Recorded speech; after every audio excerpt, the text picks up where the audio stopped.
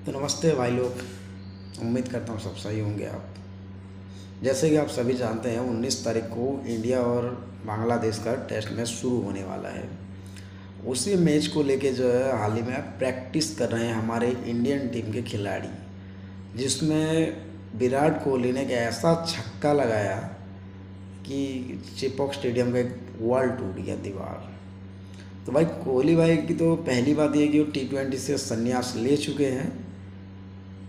फिर भी उनके अंदर का जो खिलाड़ी है ना, वो नहीं निकल रहा है। वैसे विराट कोहली एक लौते ऐसे खिलाड़ी हैं जिनका तीनों फॉर्मेट में फिफ्टी परसेंट एवरेज है और उनके नीचे सिर्फ़ ए वी डिविलियर ही आते हैं जो दो फॉर्मेट में फिफ्टी का एवरेज था ओडीआई और टेस्ट में। और अब जब विराट कोहली संन्यास ले ही चुके हैं टी ट्वेंटी से तो अभी किसी भी खिलाड़ी को जो है विराट कोहली से कंपेयर करने की ज़रूरत नहीं है। अभी अगर किसी का कंपेयर होगा तो सिर्फ़ सूर्य कुमार यादव से होगा।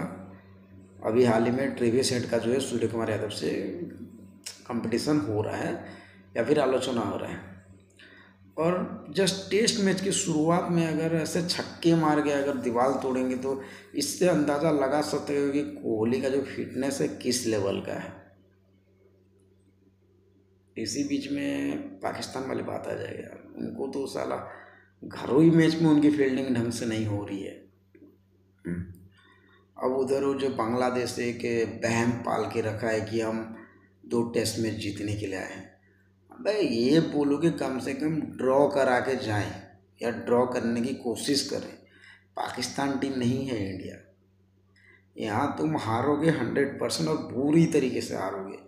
क्योंकि रोहित ने अपना मास्टरमाइंड लगा लिया है। उन्होंने जो है, अब तक टेस्ट में अच्छे परफॉर्म करने वाले खिलाड़ी अक्षर पटेल को ड्रॉप किया और उसकी जगह कुलदीप यादव को मौका दिया प्लेइंग इलेवन में। जो ये खास दर्शाता है कि ये चाहते हैं कि सामने वाली टीम जो है, जल्दी से जल्दी ऑल आउट हो जाए। अगर इंडिया पहले बैटिंग करती तो ज़ाहिर सी बात है छः सात सौ आराम से रन बना लेगी और डिक्लेयर करेगी।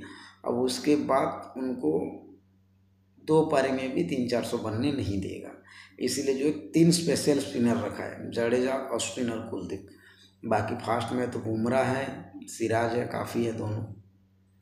शायद और किसी को मौका मिले, आकाशदीप या फिर दयाल। इसका कुछ अनुमान नहीं लगाया जा सकता अभी। बट जिस हालात से इंडियन टीम प्रैक्टिस कर रही है, वो मुझे लगता है कि टेस्ट तीन दिन में समाप्त कर देगा। क्योंकि ऑस्ट्रेलिया जैसी टीम को तीन दिन में इंडिया टेस्ट में हरा दे रही थी। अब पाँच दिन तक टेस्ट मैच नहीं जा रहा, वो मज़ा आ गया। अभी टेस्ट मैच में इंटरेस्टिंग हो गया ना इन्हें खिलाड़ियों की वजह से। बट उम्मीद करता हूँ कि ये मैच थोड़ा सा अच्छे खेलें इंडिया ही खेले पहले बैटिंग करके और चार दिन कम से कम लेके जाए। बाकी आप लोग क्या चाहते हो? नीचे कमेंट डाल दो यार